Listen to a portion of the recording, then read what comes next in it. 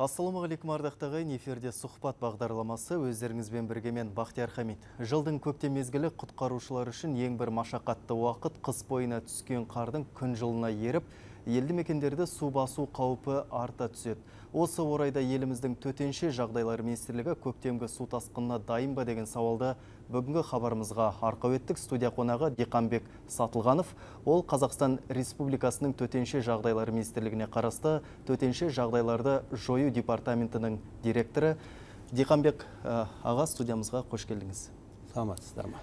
Диқанбек Жаңғаразұлы енді ең алдымен осы қазіргі су тасқынына көктемгі мынау судың еруіне байланысты жағдай қалай болып тұр? Содан бастаған әңгімені.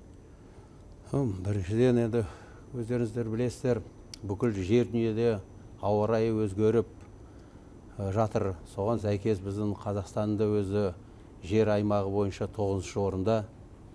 Осы солтүстік облыстарымызда батыс қазақстан шығыс қазақстанда ауа райы суық болып жатса сол кезде оңтүстіктерде алматы жамбыл облыстарында ауа райы жылы болып жатады. Сол 2008 жылы оңтүстік облысында сарыағаш ауданында су көтеріліп жаңағы жаңағы талай үйлерді қиыншылық әкелген еді. А сол кезде жаңағы бәйдібек ауылында бұрын болып жатқан заман болады. Соған сәйкес енді қазіргі заман өзі ерекше.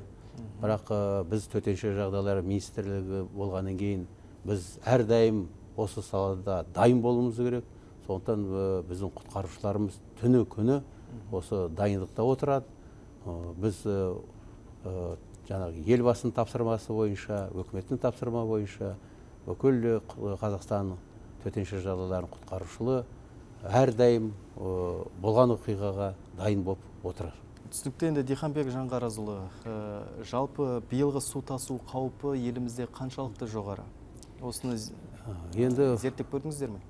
иә ондай тіршіліктер көп жасалып жатыр қазіргі мынау қазгидрометтің бағдарламасы бойынша осы ақтөбе облысы қостанай облысы ақмола облысы батыс қазақстан облыстарында жаңағы біраз қардың көпшілігі бар. Соның ішінде жаңағы 17-ден 20 пайызға дейін сантиметрге дейін кейбір жерлерде жаңағы 80 сантиметрге дейін бар. Соған сәйкес біз күнделікті жаңағы әкімшіліктермен бірге соны тексеріп күнделікті жаңағы қарды шығарып жатқан тіршіліктер жасалып жатыр оның ішінде қазіргі уақыттарда бүкіл қазақстан бойынша жаңағы он миллиондай жаңағы қар шығарылған соның ішінде например осы біздің астананың өзінің ішінде екі де екі миллион кубометрдей қар шығарылған соған сәйкес біз ойлаймын осы күнделікті біз ондай тіршіліктер жасауымыз керек дайындық болу керек.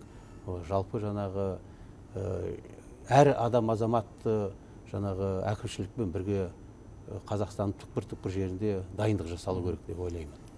Диханбек жаңғаразұлы енді осы су тасу қаупінің алдын алудың бірден бір жолы осы қар шығаруда жатыр ма сонда? Жоқ әлде басқа да жұмыстар жасап жатсыздар ма? одан да басқа жұмыстары көп қой енді. Оны жаңағы бір айтқаным жаңағы осы қар көп қалаларда ауыл жерлердегі әр адам баласы тазалау керек дегенім ғой. Оны әр үйінің есік алдында жаңағы арықтары бар. әр адамның өзіне байланысты өзіне байланысты иә. әр адам өзінде біз өзіміз де сол бала кезімізде ауылда өстік. Әр өзіміз тазалайтынбыз есік алдында қарды арықтарды каналдарды да тазалап жататынбыз. Және жалпы енді біз осы тарапта өкіметтің тапсырма бойынша жаңағы гидротехнический сооружениелер бүкіл қазақстандағы бар онда тексеріп жатамыз жалпы жаңағы комитет водных ресурспен бірге әкімшіліктермен бірге бір канал бір жаңағы су аймақтар өкіметтің тарапында біздің төтенше жағдайлар министрлігінде неде тұрады контрольде тұрады. Вот қазіргі заманда мынау шардара су аймағын алсақ бесте екі миллиард су болса қазір сол бес миллиардқа жақындап қалып отыр. Бірақ біз оны жаңағы су комитетімен күнделікті жаңағы контрольде ұстап отырмыз. Оған енді сәйкес болса оқу жаттығу өткізіп жатамыз бұл да бір дайындықтың иә ол да бір дайындықтың Иә. тіршілігі. Себебі біз сол құтқарушыларымызды әкімшілікпен бірге қандай болған оқиғада қандай шешім қабылдануымыз керек. Биылғы мынау оқу жаттығу көктем 2014 өткіздік.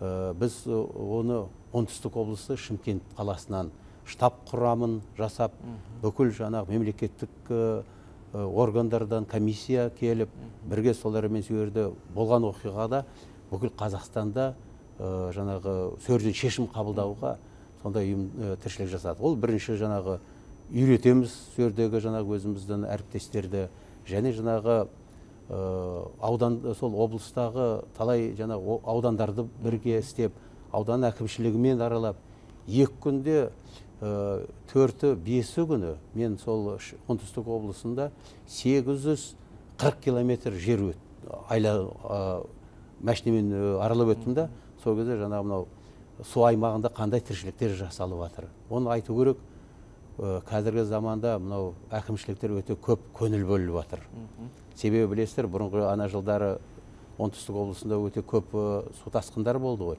Сол кезде жаңағы бұлар уже опыты бар дейміз ғой. Тәжірибесі Иә, бар тәжірибесі бар. Соған сәйкес бұлар қазір шешім қабылданып ә, осы күнге дейін жаңағы техника істеліп жатыр жаңа үлкен өзендердің аймағында жаңағы берег укрепительный дейміз иә, сондай жұмыстар істелініп жатыр каналдар жасалып жатыр. Вот анау темірлановка дегенде найман каналы болады он вот э, осыдан э, екі жыл бұрын су алған кезде сол э, канал біраз қауіпсіздік жасап еді темірлан ауылына.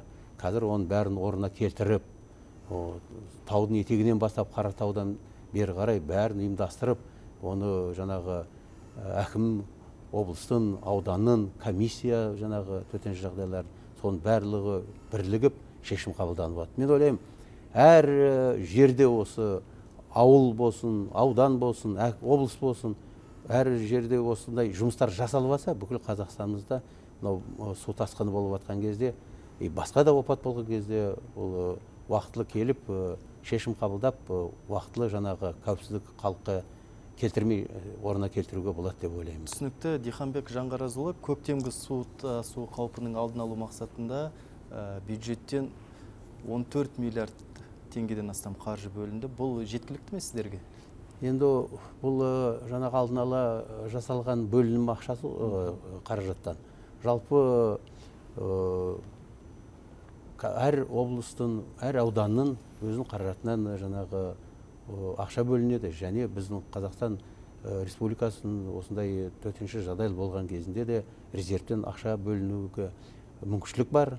Және өзіміздің мынау госмат резервіміз бар. Ол жерде жаңағы салынған тамақ бар дайын. Болған оқиғада соны тезірек материал резервтен шығарып оның ішінде де техника да бар. Жаңа әртүрлі жаңағы оборудованиелер да бар. Керектің бәрі бар керекті ғой, осы суға сәйкес көктемге жаңағы дайындық ретінде осы осыдан бір жыл бұрын біз дайындалып осыны осы жерге беріп соңғы кездерде айтайық осы үкіметтің тарапынан төтенше жағдайлар біздің құтқарушыларға жақсы көңіл бөлініп жатыр қа- қаржы жағынан жаңа техникалар алынып жатыр ол сол э, су құтқару кезінде де жаңағы қайықтар бар керемет жақсы уақытылы баратын. Әнеу күні қызылорда облысындағы болған оқиғада ә, жаңа өзенде ол қазір де сол Жаңақорған ауданы. жаңақорғанда иә кешіріңіз. Сол жерде де әлі күнге дейін біздің жаңағы су құтқарушылар өзінің қайықтарымен дайын тұр көмек беріп жатыр. Халықпен елмен біз кеше сол жерге барып жетісі күні ә, біздің министр төтенше жағдайлар министрлігі және облыстың әкімі ә, бірге барып сол жерде елмен кездесіп бірлік ауылында жаңақорған ауылындағы азаматтармен ә, кездесіп көріп жағдайдың барлығын. Қандай шешім қабылданды қандай тіршіліктер жасалды қазіргі уақытта қандай ә, не жасалып жатыр соның бәрін көріп шықтық. Оның комиссияның құрамы құрылып қазір сол ә, ауылда жаңағы комиссияның тексеруімен жұмыстар жүріліп жатыр. Мен ойлаймын сол қаражат бөлінер деп уақытылы. Демек ә, мына жаңа қорғандықтардың жаңағы судың астында қалған үйлеріне өтемақы төлеу мәселесі шешіледі дегіңіз келеді ғой? Иә шешіледі. Оны әлі де уже шешіліп жатыр. Оның үйлердің бәрі аман қалған анау есік алдындағы жаңағы біраз қора қопсылар қора қопсылар солар иә. зиян тиіп қалған. Ол да рахмет айту керек. Мынау біздің әкімшілікпен өздің сол жердегі тұрғындар өздері уақытылы жаңағы ұйымдастырылып енді ол болған оқиға мынау қаратау тауда қар қалың түскен екен. Және күн жер жаңағы мұз қатылған жаңағы тон одан кейін жаңағы жаңбыр жауған тауда. Сол қар мен тау ерітіп төмен түскен төмен түсіп сол су. Бірақ ол жерде біраз қиыншылық болған сол жаңағы мынау западный европа западный қытай дейміз жол халықаралық дәлізде иә салынған. Сол жерде біраз нелер болу керек еді. Жаңағы септиктер су өтетін. Соны кейбір жерлерде иә соны уақытысында проектке сәйкес жасалмаған екен. Бірақ өткенде күшербаев мырза әкім болды. Сол жерде біз және министерство анау транспорттың жігіттері болды. Соларға айтылып шешім қабылдап енді әлі ол уақыт бар. Орнына келтіріп қазір соны бүгінгі жаңағы өкімет отырысында біздің төрағамыз төтенше жағдай министрлігі башко мырза осыны көтеріп осы мәселені біздің қазақстан республикасы премьеріне доклад беріп жатыр соны мен ойлаймын енді болашақта сондай сондай осындай болған опаттан кейін де біз сезіп жатырмыз оны бірақ жалпы жүз жылда болған жаңағы опаттардың барлығын ұйымдастырып мынау проектный институт дейміз ғой. Солар қабылдап оны шешім жол салғанда соның бәрін білу керек еді. Сол кезде жаңағы ауылдағы әкіммен ауылдағы тұрғындармен. Жалпы осы жаңа қорғандағы су тасқынының алдын алу мүмкін бе еді? Мен айтайын жаңағы сол жерде біз барып кездестік бірлік ауылының ақсақалдарымен. Қырық жыл бұрын сондай болған екен. Қырық жылдан қырық жылдан бірінші рет сондай болып тұр.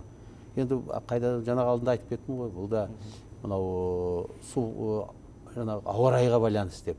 Ол сондықтан ғой мынау табан астында жаңбыр жауып жылы жаңбыр болып жаңағы жиналған су бұрынғы жаңағы дарияның несімен кететін аймағына баратын каналдардың сол жаңағы жолдан өтемей қалып кішкене қауіпсіздік әкелгені деп.